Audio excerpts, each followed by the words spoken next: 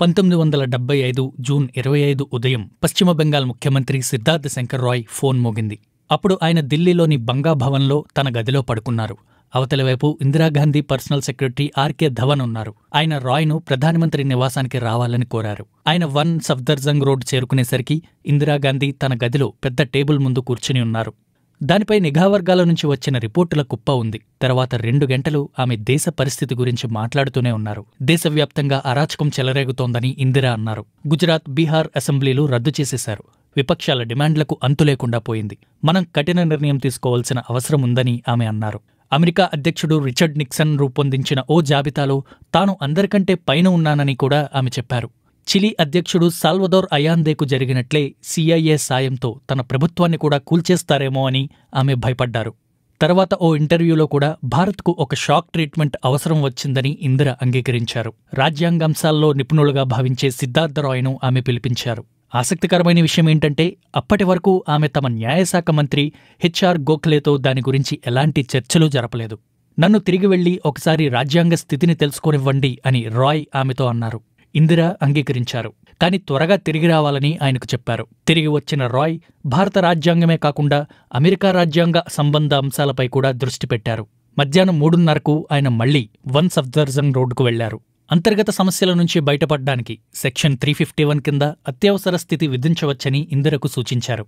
అత్యవసర స్థితి విధించే ముందు కేబినెట్కు తాను ఆ విషయాన్ని చెప్పాలనుకోవడం లేదని రాయ్తో ఇందిర చెప్పారు. దాంతో మంత్రిమండలి సమావేశం ఏర్పాటు చేయడానికి తగిన సమయం లేదని మీరు రాష్ట్రపతికి చెప్పవచ్చని రాయ్ సూచించారు. ఆ ప్రతిపాదనతో రాష్ట్రపతి దగ్గరకు వెళ్ళాలని సిద్ధార్థ్ శంకర్ రాయ్ను ఇందిర కోరారు. నేను పశ్చిమ బెంగాల్ ముఖ్యమంత్రిని అని చెబుతూ రాయ్ దానికి నిరాకరించారని కేథరిన్ ఫ్రాంక్ తన ఇందిర అనే పుస్తకంలో చెప్పారు. అయితే ఇందిర తనతో పాటు రాష్ట్రపతి భవన్కు రావాలని ఆయన్ను కోరారు. ఇద్దరూ సాయంత్రం ఐదున్నరకు అక్కడికి చేరుకున్నారు. ఫక్రుద్దీన్ అలీ అహ్మద్కు మొత్తం విషయం చెప్పారు.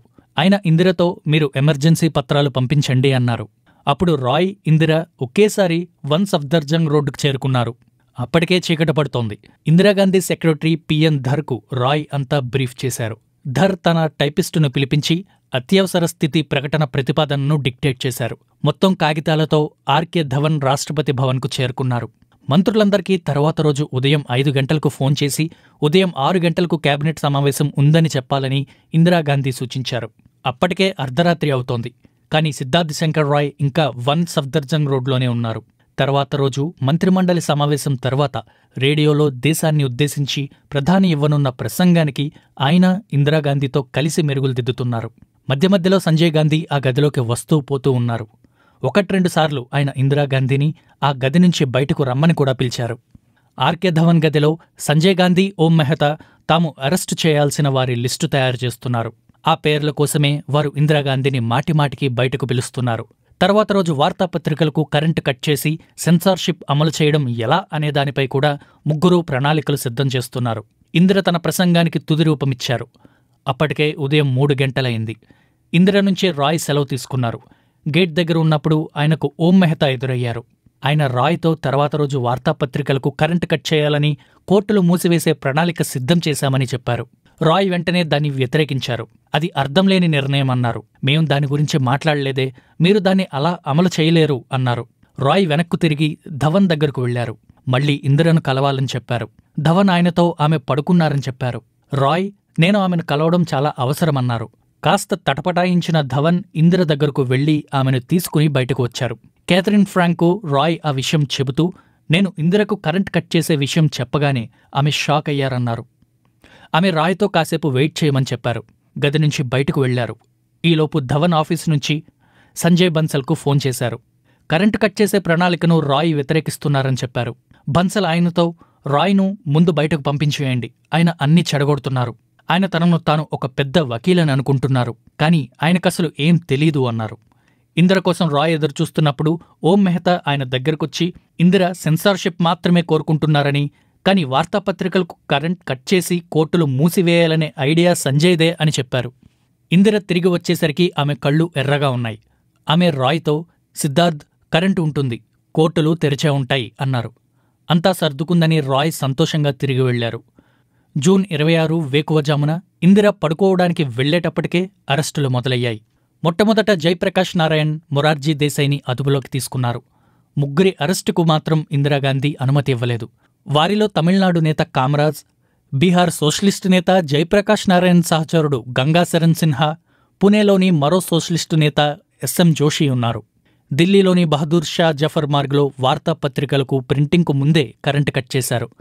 తర్వాత రోజు హిందుస్థాన్ టైమ్స్ స్టేట్స్మెన్ మాత్రమే ముద్రితమయ్యాయి. ఎందుకంటే వాటి ప్రింటింగ్ ప్రెస్లు బహదూర్ షా జఫర్ మార్గ్లో లేవు. ఇందిర ఆ రాత్రి కాసేపే పడుకుని వేకోజామునే క్యాబినెట్ సమావేశానికి వచ్చారు. కానీ ఆమె అసలు అలసిపోయినట్లే కనిపించలేదు. ఆ సమావేశంలో ఎనిమిది మంది కేబినెట్ మంత్రులు ఐదుగురు సహాయ మంత్రులు పాల్గొన్నారు. తొమ్మిది మంది మంత్రులు ఢిల్లీ బయట నుంచి వచ్చారు.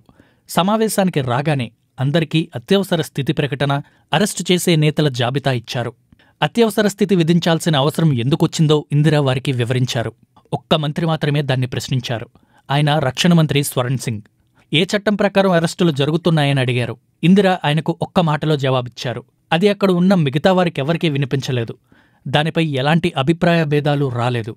ఎలాంటి చర్చ జరగలేదు. భారత్లో ఎమర్జెన్సీకి అనుమతించిన ఆ సమావేశం కేవలం అరగంటలోనే ముగిసిందని పిఎన్ ధర్ తన పుస్తకం Indira Gandhi the emergency in Indian డెమోక్రసీలో చెప్పారు. అత్యవసర స్థితిని ఎవరూ సవాలు చేయలేదన్నారు. కొన్ని నెలల తర్వాత సంపాదకులతో జరిగిన ఒక సమావేశంలో ఇందిరాగాంధీ అన్నది ముమ్మాటికి నిజమే. When impose the emergency not even the dog barked